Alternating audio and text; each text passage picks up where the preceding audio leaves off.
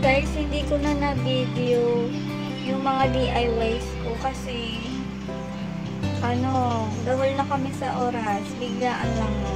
Biglang napag-isipan namin na binyagan nga kasi sakitin na si Eli.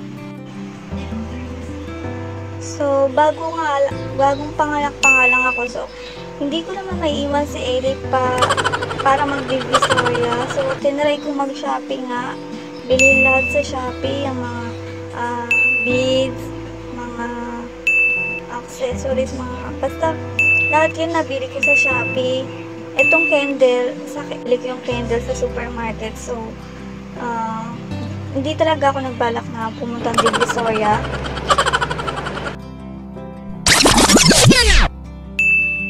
So, syempre, ang una-unang gagawin is yung invitation ni Ellie. Ayan. Nag-layout lang ng invitation. Two page. Ayan. Yung front page niya is yung mga makalagang nakalagay. And then yung second page yung uh, tag parents niya, tag parents. Ninong at inang niya. Then, nagkulay ko ng dal, ano tawag ito? Dal, dal paper, dal paper, kulay pink. Then, nilagyan ko lang ng ribbon. Ayan na siya.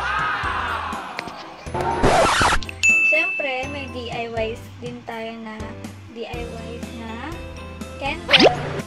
So, personalized candle ko siya. May picture ni Ailey, tapos may mga pangalan ng Ninong at Ninang. Yung iba nga lang hindi nagpunta. Tapos, itong candle niya is DIY nga. Ulit-ulit ako, sorry.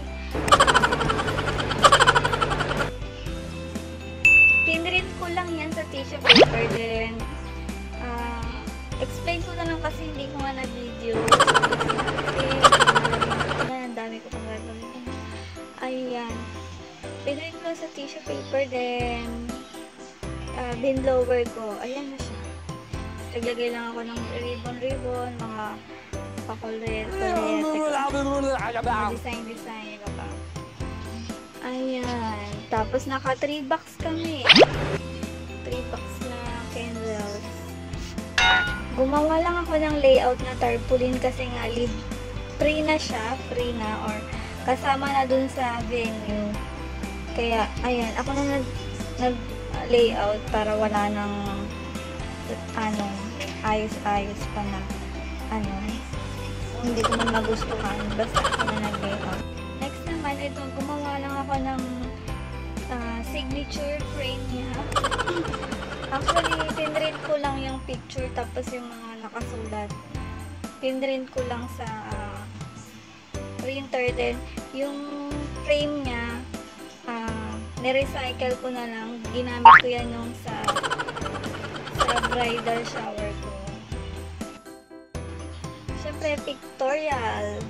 Pictorial na for her, ano, souvenirs. Ilalagay ko sa souvenirs. So, gumawa ako ng limang kulay. Blue, white, pink, uh, sky blue, and colorful. Para sa, ano, sa souvenirs. Kasi gusto ko iba-ibang kulay para may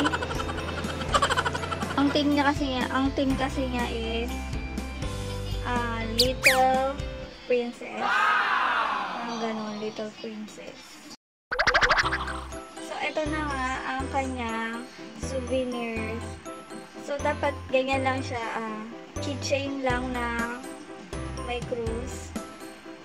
Tapos, iba-iba nga kulay. So, nasisimplihan ako kasi parang nagbigay lang ako ng ang ginawa ko, nag-print ako ng picture niya. Ayan. Nag-layout na lang ako. Then, nilagay ko siya sa isang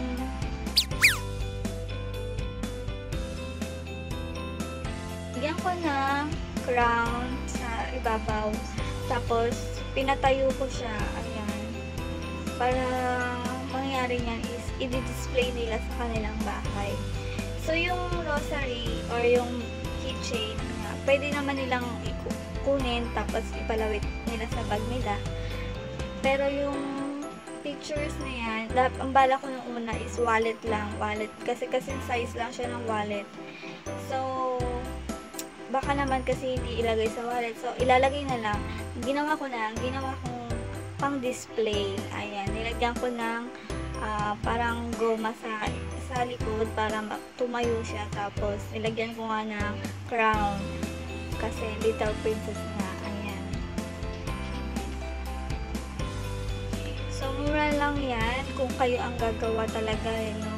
Ang laking tipid. Pero sa iba yan, magkano yan?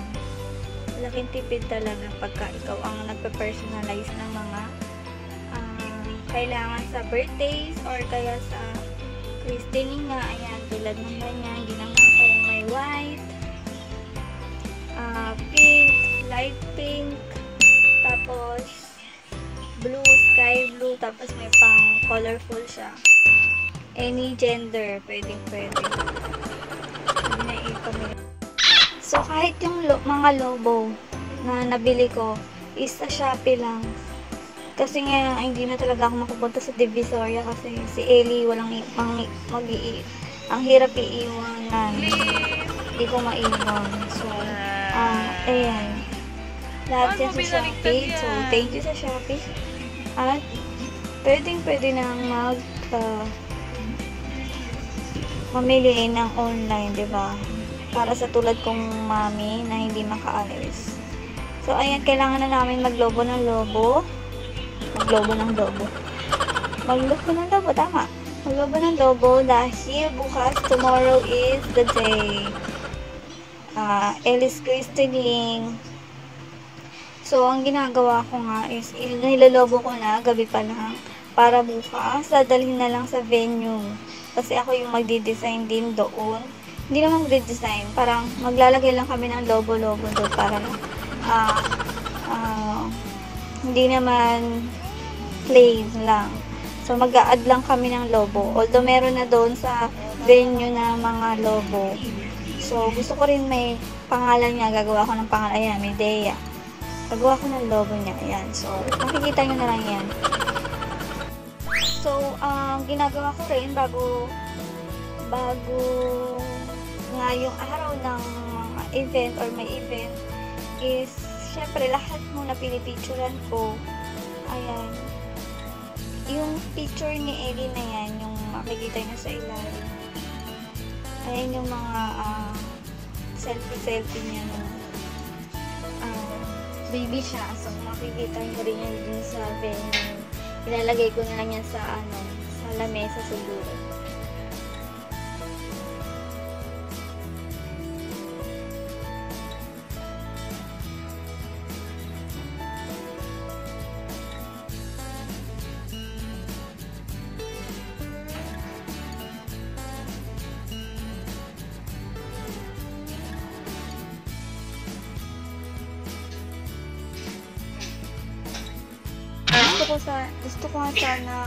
Picture si Ellie, DIY pictorial kaso lang epic fail. Ayun, walang nangyari.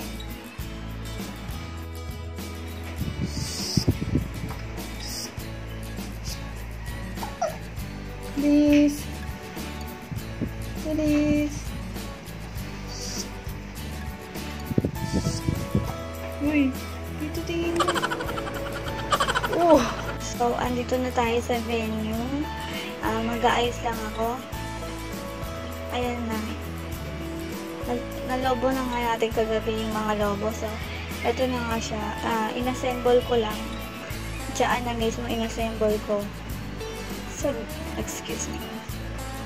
So, inassemble ko na nga dyan sa venue yung mga ah, balloons name niya. So, wala pa ang tao. Maaga, maaga pa kami dito. Maaga pa lang. Ah, 11 yung usapan doon sa simbahan pero ah, 10 o'clock andito na kami kasi darating din yung lechon na pinadala sa galing Iloilo. Thank you sa nag ah, padala ng uh, lechon ni Eli.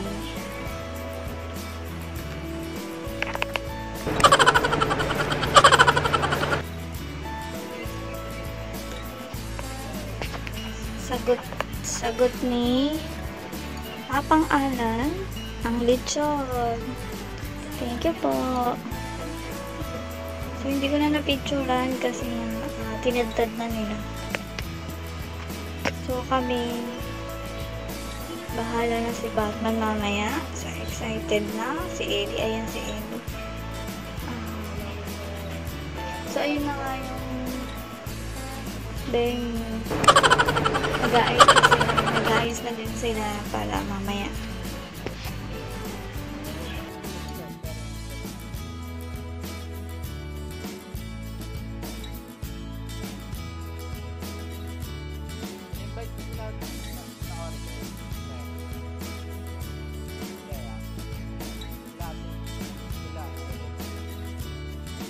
So, ito yung napili namin tar sa tarpaulin.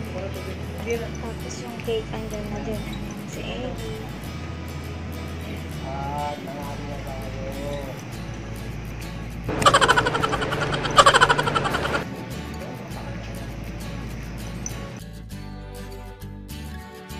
Na kami sa church. Ayan, ibinyagan na si Ellie. Welcome to the Christian world, baby Elise. Hidea Elise, welcome to the Christian world. Ayan ang mga pangyayari. Kasi hindi na ako nakapag-video kasi busy. Alam mo na. Ako lang naman kasi nag-video. Wala akong videographer. So, sorry na. Picture na lang.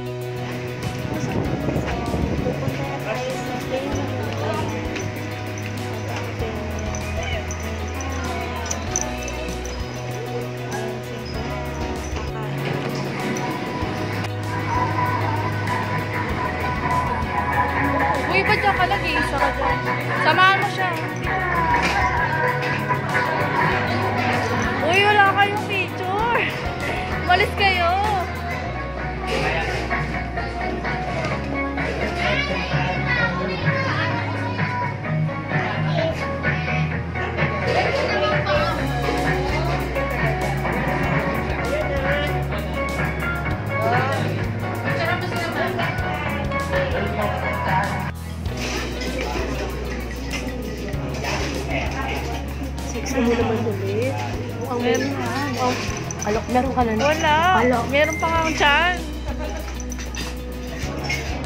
Hi.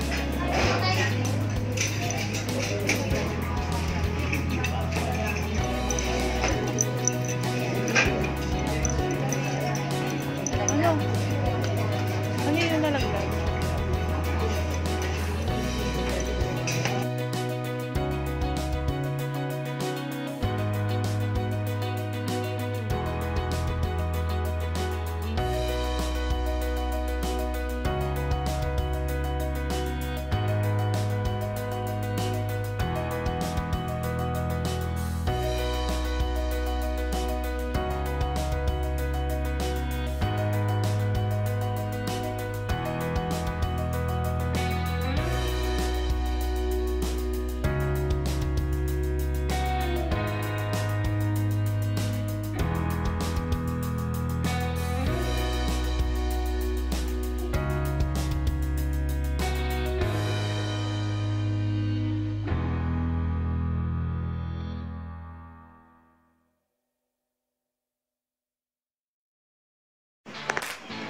Siyempre, hindi mawawala ang video. Okay. Ayan. Sila, mga friends ko noong high school. So, ayun, pagdating sila na bahay, nangungulit kasi, wala daw inuman ba daw. Ayan, uminom muna sila. Kung napansin nyo, wala si Daddy Mick nandun siya sa kabilang inuman. kasi hindi pwedeng pagka-friend dito sa bahay kasi siksikan na. Ang init. Tapos, ano, napagdo kami. Ayun, dyan, ayun si Daddy Meg, pinuntahan na namin ni Amy. Doon siya sa bahay ng aming ka katita. Sana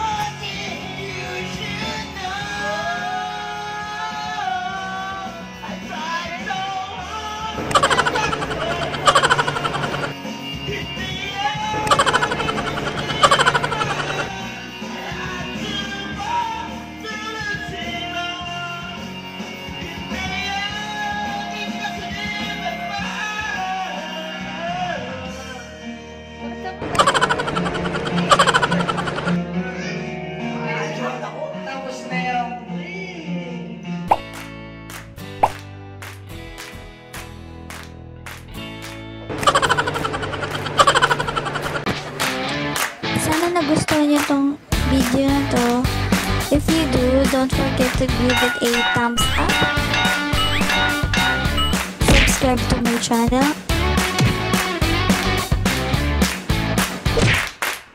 And click the notification bell below para lagi kayong updated on my next upload. Thank you for watching, Mimi Labs. I hope to see you on the next one.